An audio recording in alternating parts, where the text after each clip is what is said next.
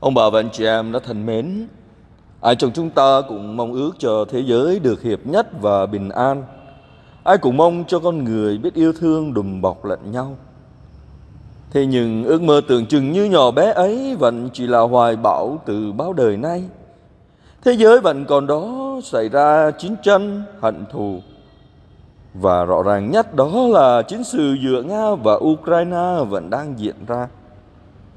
Lòng người dường như vẫn còn oán trách, Vẫn còn tỳ hiềm lẫn nhau.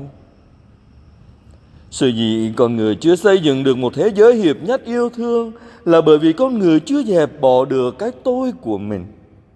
Cái tôi luôn muốn hơn người khác. Cái tôi luôn muốn chiếm đoạt về cho mình.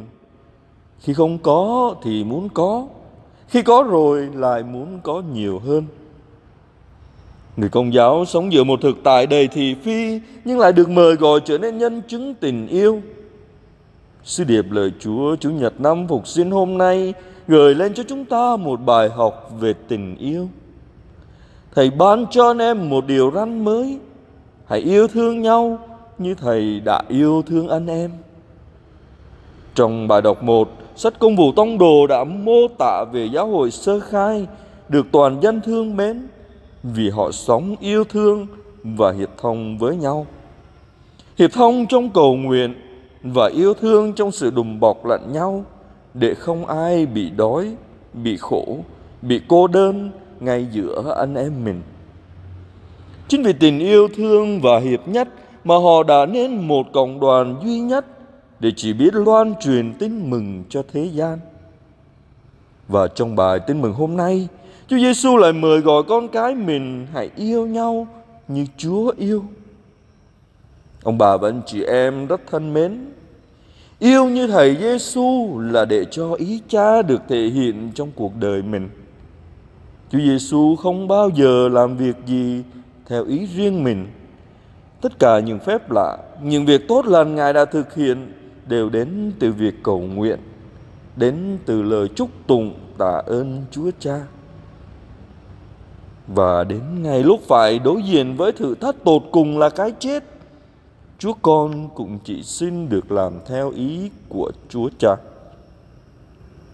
Yêu như Chúa là một tình yêu tuyệt đối, Một tình yêu vô vị lợi, Một tình yêu thắng mọi oán trách. Chúa Giêsu biết rõ hành động của Giuđa bán mình, Nhưng Ngài vẫn cúi xuống rửa chân cho ông. Chúa biết Phêrô chối mình nhưng vẫn dành cho ông một niềm hy vọng, một niềm tin tưởng để nhắc khẽ ông quay gót trở về. Ngài thấu cảm nỗi đớn đau tột cùng của kẻ bị phản bội. Nhưng Ngài vẫn hiến mình trong bí tích thánh thể để ở lại và ở trong nhân loại chúng ta. Vâng, tình yêu của Chúa là như thế đó. Và hôm nay Ngài mời gọi chúng ta hãy yêu như Ngài. Ông bà và anh chị em rất thân mến, Lắng nghe lời Chúa hôm nay, Mời gọi chúng ta nhìn lại cuộc sống của mình. Có lẽ ít nhiều trong đời sống, Chúng ta cũng đã sống yêu thương. Nhưng tình yêu chúng ta trao ban còn hạn hẹp, Còn đóng khung. Chúng ta chỉ biết yêu những người yêu mình. Còn những ai không theo thuận ý mình, Thì chúng ta chưa thể yêu họ được.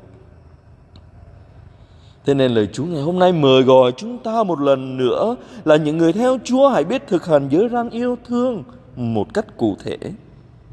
Đó là biết lắng nghe lời Chúa mà lau khô đi giọt lệ của những người anh chị em đang đau khổ. Là đem sự sống của Chúa đến cho những ai còn than khóc vì sự chết mau hư mất ở đời này.